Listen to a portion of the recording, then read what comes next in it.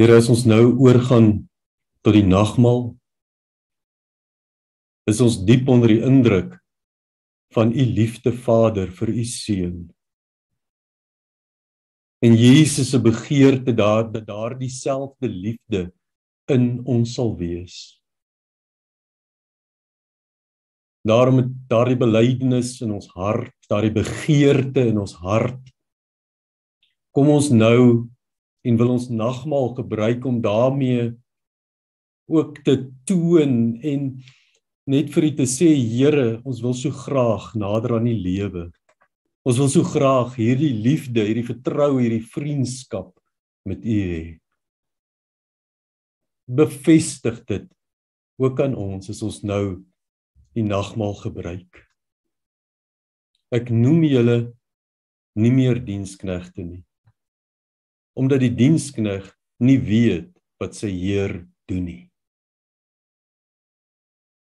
omdat die dienskneg nie weet wat sy heer doen nie.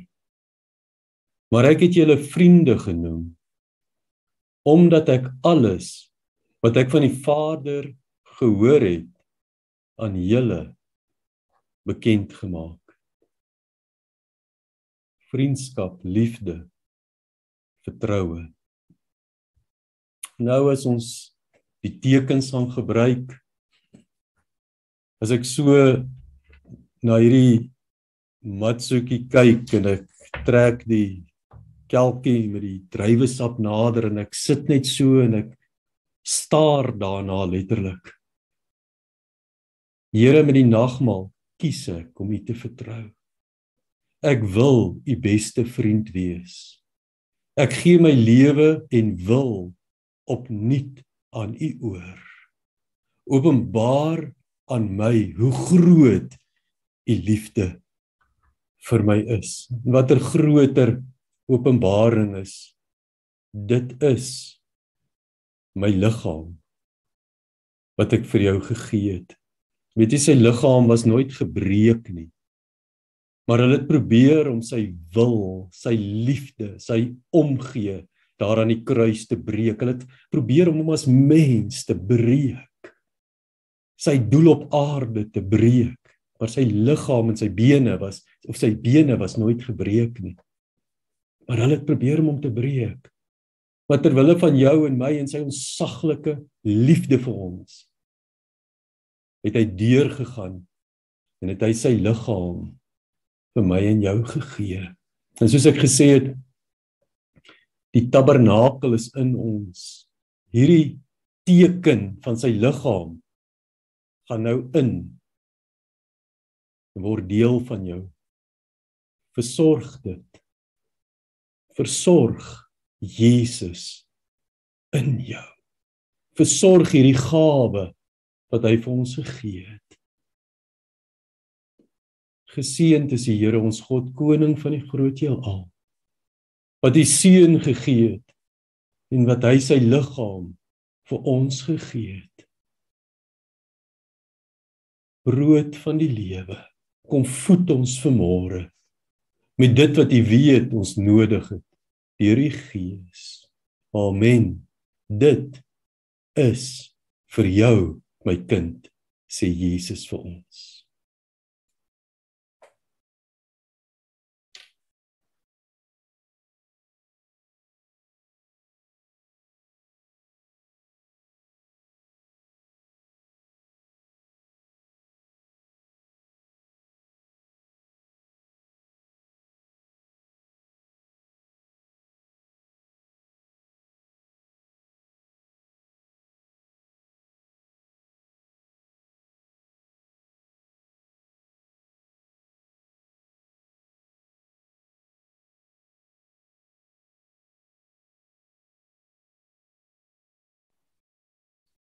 Here Jesus, soos wat hierdie broodjie of matso in my liggaam ingaan, bevestig dit net weer.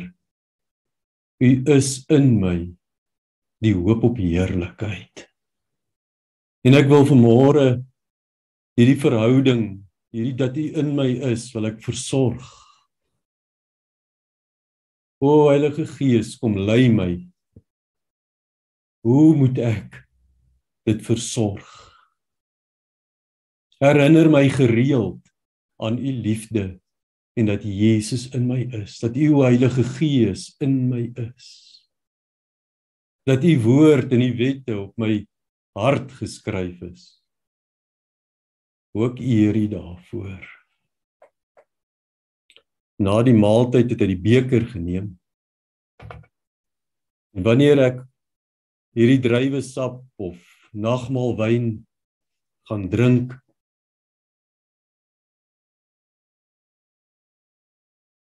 dan weet ek dat ek die lamp moet versorg. Dat ek hierdie lamp moet versorg. Dat ek die salwing van die Gees moet versorg, maar dat sy bloed my reinig van alle sonde en ook dat hy my genees. Dankie Here vir die bloed wat aan die kruis gevloei het ter wille ook van my, maar ook ter wille van die wêreld. En as ek vanmôre hierdie druiwesap en wyn gebruik, is dit so in my invloei dat daar 'n nuwe invloei van die Gees sal wees, 'n nuwe invloei van die liefde sal wees. Ek eer U daarvoor in Jesus se naam. Amen. Dit is vir jou my kind sê Jesus vir ons.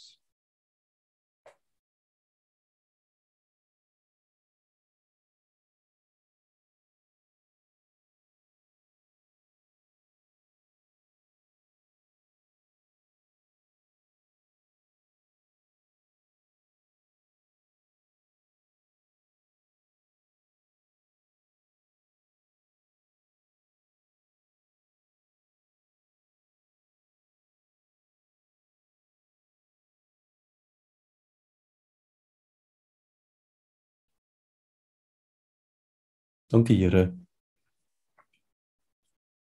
Dat hierdie net tekens vir ons bly nie. Maar dat dit profetiese handelinge is, dat dit bevestiging is van ons begeerte. En dat ons môre net opnuut kan bely, dit is u liggaam. Dit is u bloed wat in ons is, wat in ons lewe deur u gees en ons eer U daarvoor. Amen. Dat ek weer gedink, kom ons bid hierdie onsse Vader weer saam. Onse Vader wat in die hemele is. Laat U naam geheilig word.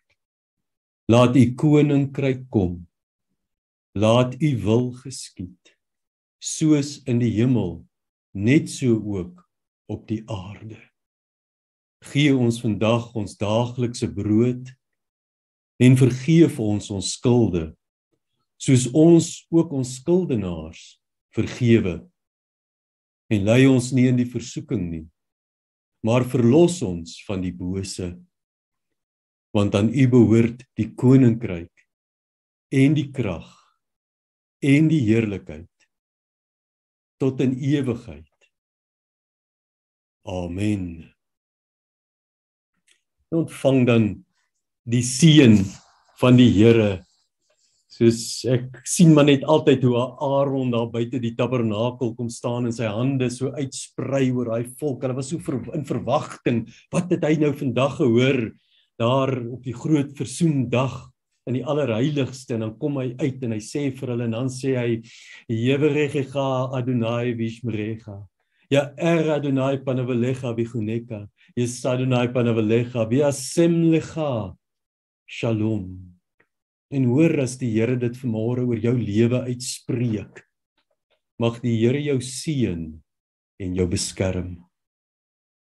Mag die Here sy aangesig oor jou laat skyn en jou sy guns betoon.